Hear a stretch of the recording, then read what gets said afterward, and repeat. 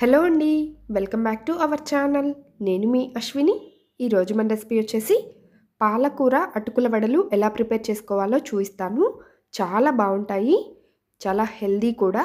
ఒక్కసారి మీరు కూడా ట్రై చేయండి.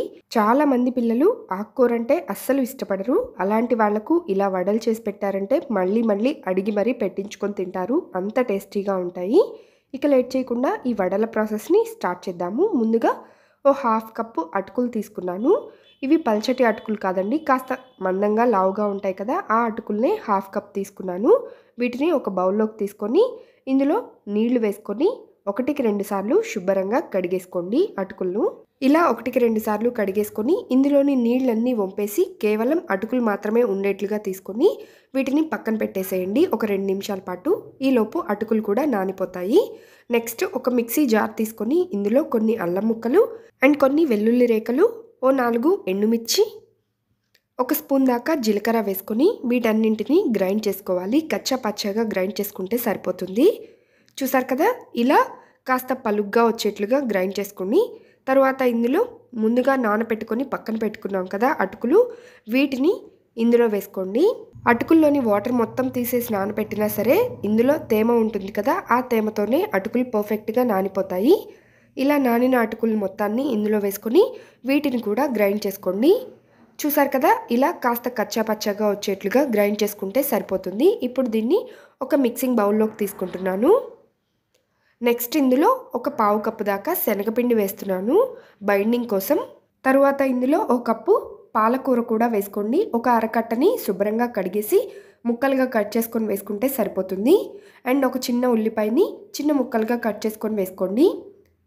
రుచికి తగ్గట్లుగా ఉప్పు వేసుకొని కాస్త కరివేపాకు అండ్ కొంచెం కొత్తిమీర కూడా వేస్తున్నాను. మీరు కారం కాస్త ఘాటుగా తినేవాళ్ళైతే పచ్చిమిర్చి కూడా వేసుకోవచ్చు. లేదంటే ఎండుమిర్చి కారమే సరిపోతుంది. ఇంకా మీకు మసాలా ఫ్లేవర్ ఎక్కువగా కావాలి అంటే ఒక అర స్పూను ధనియాల పొడి అండ్ ఒక పావు స్పూన్ దాకా గరం మసాలా పొడి వేసుకున్నారంటే మసాలా ఫ్లేవర్తో వడలు చాలా టేస్టీగా ఉంటాయి. నేనైతే పొడి మసాలాలు వేయకుండా ఇందులో చుక్క నీళ్ళు కూడా వేయకుండా ఈ ఆకుల్లోని తేమతోనే పిండిని మొత్తాన్ని కలిపేశాను.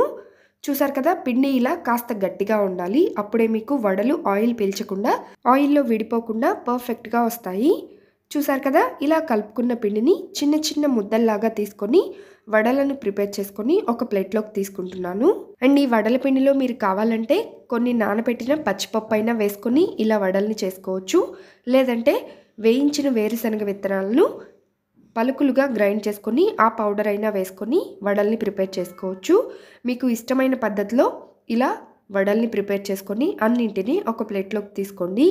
ఇలా నేను కొన్ని వడల్ని అయితే చేసుకొని ఒక ప్లేట్లోకి తీసుకున్నాను.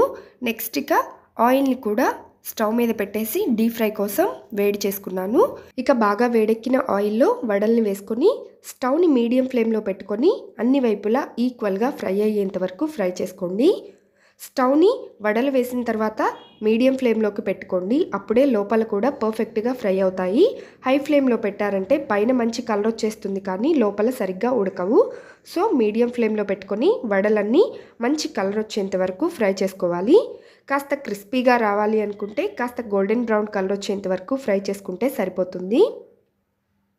ఇలా నేను అన్ని వైపులకి మధ్య మధ్యలో టర్న్ చేసుకుంటూ ఈ వడలు గోల్డెన్ బ్రౌన్ కలర్ వచ్చేంత వరకు ఫ్రై చేస్తున్నాను. ఇలా ఫ్రై అయిపోయిన తర్వాత వీటిని ఆయిల్లోంచి తీసేసి ఒక పేపర్ నాప్కిన్ ప్లేట్లోకి తీసుకొని కాస్త చల్లారిన తర్వాత కనుక సర్వ్ చేసుకున్నారంటే టేస్ట్ అద్దరిపోతాయి. చాలా చాలా టేస్టీగా ఉంటాయి. ఇదే ప్రాసెస్లో మిగిలిన పిండితో కూడా అన్ని వడల్ని ప్రిపేర్ చేసి ఆయిల్లో వేసుకొని ఫ్రై చేస్తున్నాను. కాస్త ఎక్కువ క్వాంటిటీలో పిండి కలుపుకున్నా సరే ఫ్రిడ్జ్లో అయినా స్టోర్ చేసుకోవచ్చు. ఎన్ని వడలు కావాలంటే అన్నింటిని వేసుకోవచ్చు. ఇలా వేడివేడిగా వడలు వేసుకొని అప్పటికప్పుడు తింటుంటే ఆ రుచే వేరు అద్భుతంగా ఉంటాయి. పిల్లలు కూడా చాలా ఇష్టంగా తింటారు. ఆకుకూర అంటే చాలా మంది పిల్లలు ఇష్టపడరు. అలాంటి వాళ్ళకు ఇలా ఆకుకూరని వడల్లాగా వేసి పెట్టండి. భలే ఇష్టంగా తింటారు. మీరు పాలకూరే కాదండి తోటకూర అయినా తీసుకోవచ్చు. చూసారు కదా పాలకూర అటుకుల వడలు ఎలా ప్రిపేర్ చేసుకోవాలో? తప్పకుండా మీరు కూడా ట్రై చేయండి. భలే క్రిస్పీగా కూడా ఉన్నాయి. ట్రై చేసి ఎలా వచ్చాయో కామెంట్స్లో తెలియచేయండి.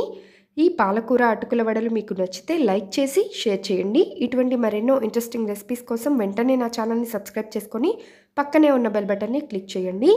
Thank you for watch it friends bye